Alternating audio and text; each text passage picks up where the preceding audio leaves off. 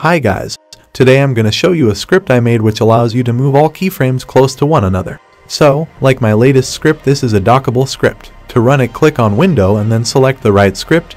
Installation tutorial is at the end of the video. To dock it, hold left on the script name and drag it wherever you want. The first button moves all keyframes of all the selected properties. The second button moves only the time remap ones. For those who don't know the purpose of this script, this comes particularly handy when you have to move all keyframes after time remapping a clip in order to Twixtor it or to send it to Flowframes.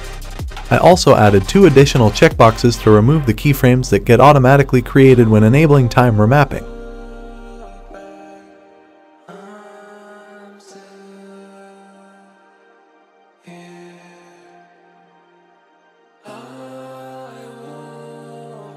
I also added an adjust layer size button which sets the end of the clips to their last time remapping keyframe.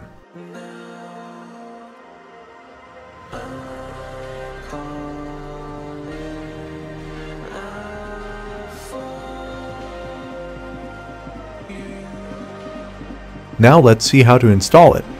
First of all locate your After Effects installation folder, go into Support Files,